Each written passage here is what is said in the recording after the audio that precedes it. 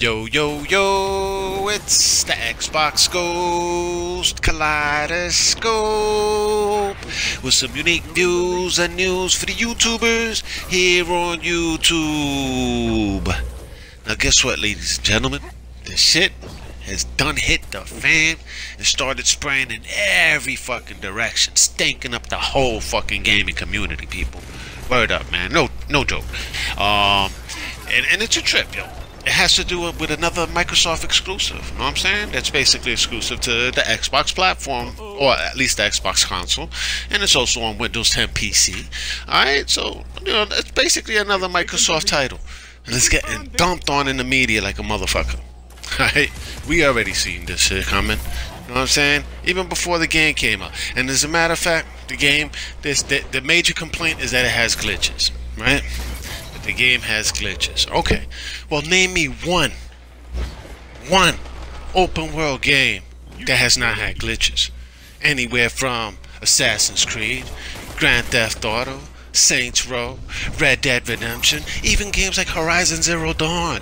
Alright, there are even videos online on YouTube, on YouTube, people, that shows that God of War even had glitches. I never came across any, but I'm just saying. There are videos out there, people. Okay, so hmm, are the glitches really that bad? I don't know. I can't really say because I haven't played the game yet. I'm hoping to play the game now tomorrow.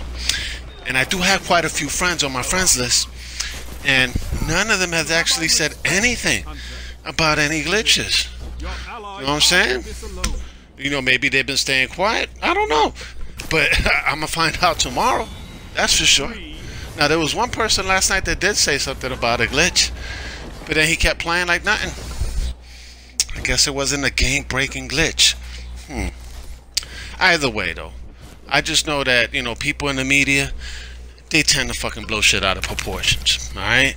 Because y'all saw how much they took a crap on Sea of Thieves, right? I mean, they are Sea of Thieves and all this stuff. The game is corny.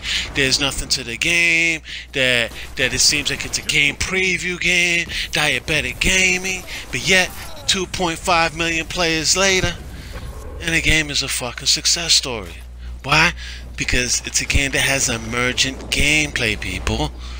Right? I guess these gamers don't understand what emergent gameplay is. I guess they've never played games like H1Z1, Ark Survival Evolved, or even Warcraft, World of Warcraft. World of Warcraft, for the first three months when it came out, there wasn't much there. These are games that they normally keep adding things to them because they're games that require an online component. These aren't single player based games, people. These aren't scripted events. Alright? If something's scripted, you already know what you're going to get from point A to point B. So you can make point A to point B look incredible. But if you don't know what's going to happen from point A to point B, then that's where it comes becomes a little bit difficult, right? Because it's emergent. You don't know how events are going to unfold. but either way, though, man, I'm excited for the game. All right, I'm hoping to actually get my hands on it tomorrow.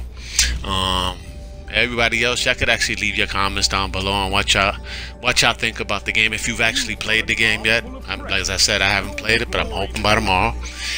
And me, well, I'm gonna sign off saying. I'm gonna still get the game, man. and there it is, clear as motherfucking day, yo. And I'm out. Peace, bro. Cause really, yo, I give a fuck about a review, man. Dude, if I get if I gave a shit about reviews, I guess I wouldn't be gaming, huh? Either way, I'm out.